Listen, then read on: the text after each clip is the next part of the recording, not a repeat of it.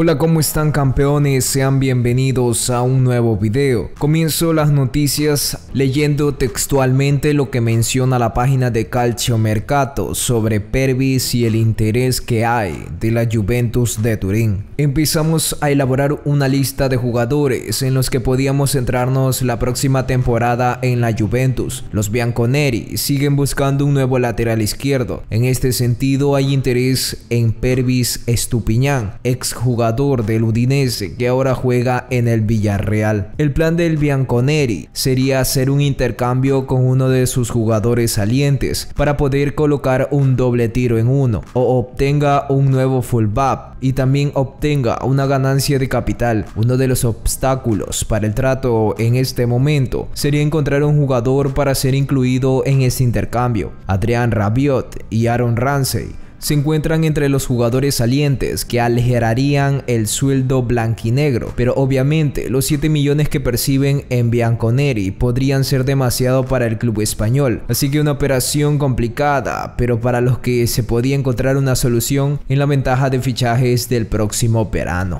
Bueno, ahí tienen la nota sobre Pirvis Estupiñán y el interés que existe en la búsqueda de un lateral por izquierda. El actual lateral es Alexandro, el brasileño. No lo hace mal, juega muy bien, es sumamente polifuncional, ofensivo, etc. Pero me gustaría verlo a Pervis en un equipo grande. Vamos a ver qué pasa. Hay un interés, pero no se confirma nada todavía. El inicio de la Superliga Femenina se suspende. El torneo femenino que tenía previsto iniciar este 3 de abril será postergado debido al nuevo rebrote de COVID-19 en el país y las restricciones dictadas por el COE Nacional. La tercera edición de la Superliga arrancará el 17 de abril con los respectivos clubes agrupados en zonas, de acuerdo con su cercanía geográfica, manteniendo las mismas fechas y formato que estaba previsto para el 3 de abril. Miller Bolaños muestra su lujosa suite en el Capwell, decorada con las camisetas de los equipos por los cuales ha pasado. El histórico y tricampeón con los millonarios publicó las fotos en su cuenta oficial de Instagram, donde incluso dejó ver detalles personalizados con el escudo de Emelec en los asientos y varias postales de su paso exitoso por el equipo. Tras su participación con la selección de Ecuador, Gonzalo Plata volverá al primer equipo del Sporting de Lisboa. Así lo confirmó el medio portugués Oyogo. El jugador fue enviado al equipo B por un tema disciplinario, pero el entrenador ya se comunicó con Plata y hablaron el tema, habiendo las partes esclarecido los motivos que llevaron a que se tomara esa decisión después de que se cerrara el mercado de pases en enero. Con esto, el ecuatoriano ahora deberá pelear un puesto cuando faltan 10 fechas para que termine la primera liga y a su escolta el Porto también le saca una diferencia de 10 puntos. Gustavo Vallecilla, defensa que pertenece a Aucas y que fue campeón con Barcelona, recibió una oferta de la MLS. Por estas horas, el Fútbol Club Cincinnati quiere llevar al joven defensa y ya realizaron una oferta. Se espera una respuesta del conjunto oriental. Aucas sigue sumando lesionados en las últimas semanas. Esta vez es el turno de un volante de marca que juega como titular. Se trata de Steven Tapiero, que se había recuperado de un tema muscular, pero en la práctica de lunes sufrió un esguince de tobillo y se espera conocer cuánto tiempo será baja.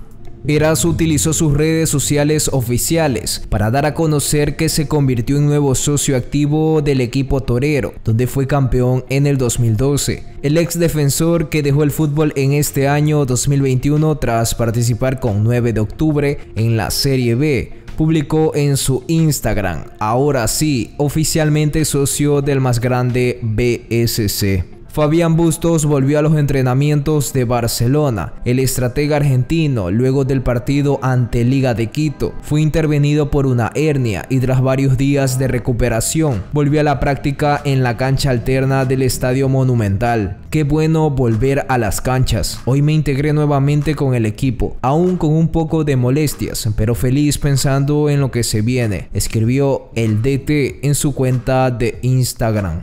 Esto ha sido todo en cuanto a las noticias del día de hoy. Si te ha gustado no te olvides de suscribirte y activar la campanita y si deseas contenido exclusivo y estar más al tanto y más cerca de Galería del Gol puedes unirte para obtener la membresía. No te olvides de seguirme en todas mis redes sociales para estar al tanto de las últimas novedades, noticias que no se cuentan aquí porque son de último minuto, así que anda y sígueme. Esto ha sido todo, yo me despido, nos vemos, hasta la próxima, bye.